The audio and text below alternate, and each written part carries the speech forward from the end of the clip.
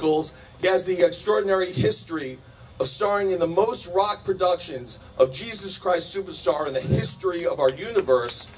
And then he went on to front the band, the British Rock Symphony, with Roger Daltrey from The Who. That was Mr. Danny Zolli singing for you.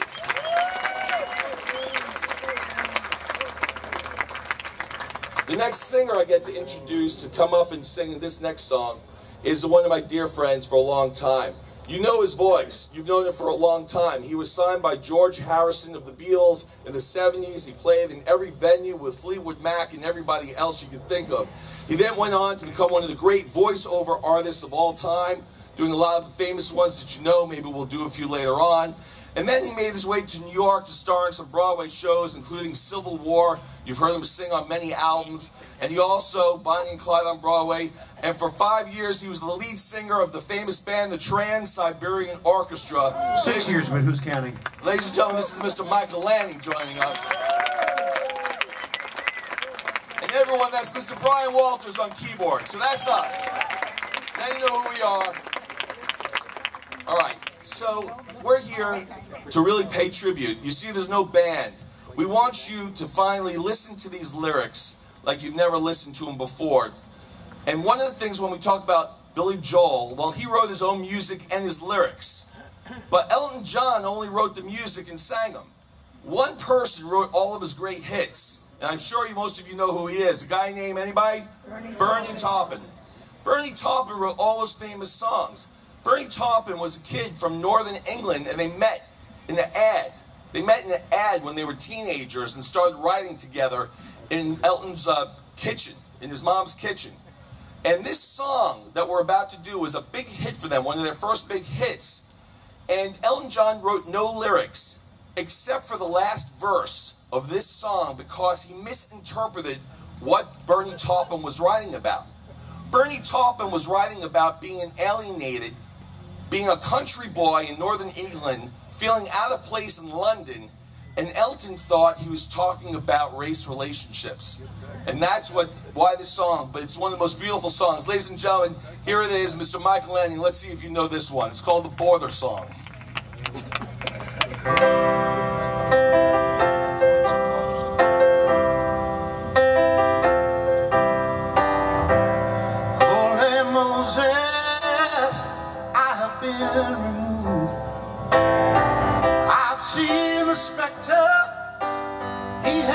here too.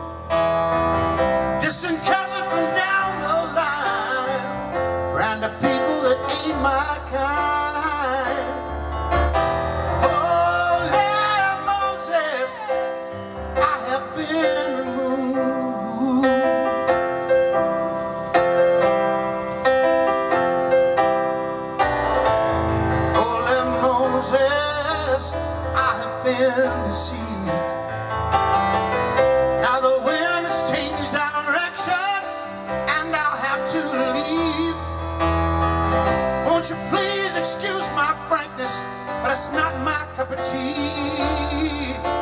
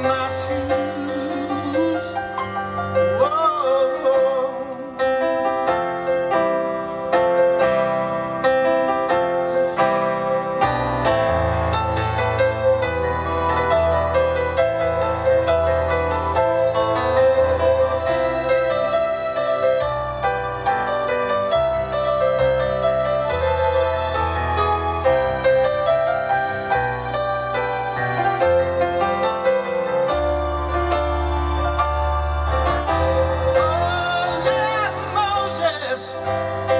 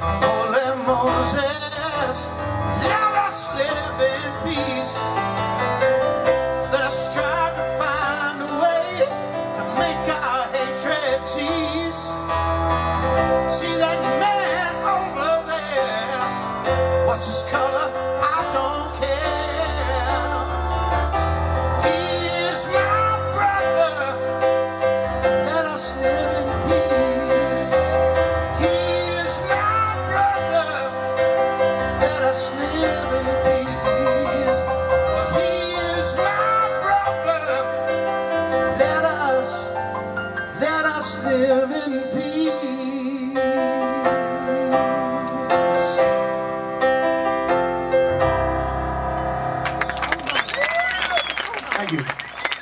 Your bird, Brian Michael Lanning. Years ago, Michael Lanning and I got to do a project together. It was called the World Rock Symphony Orchestra, and the show was called Britain Rocks. And the, the, the basis of the show was it was this incredible rock concert, symphonic rock concert. So cool. 30 piece orchestra, 11 piece band, 25 member gospel choir. And the entire show was based on British composers. Now, Michael and I got to do a duet in that show.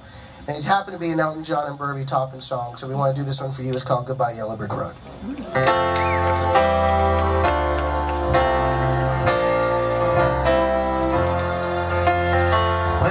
You gonna come down? When are you going to land? I should have stayed on the farm. Should have listened to my old man. You know you can't hold me forever. I didn't sign up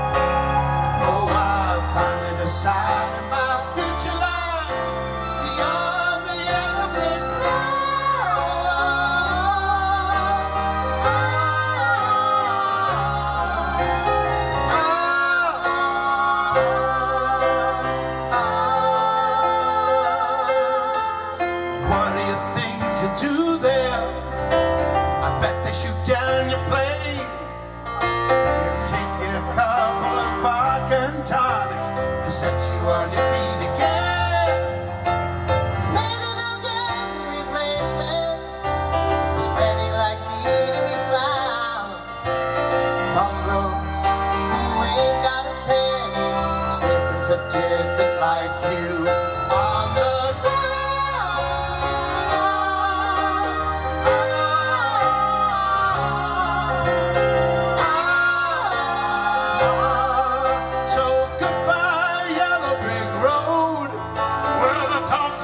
dogs of society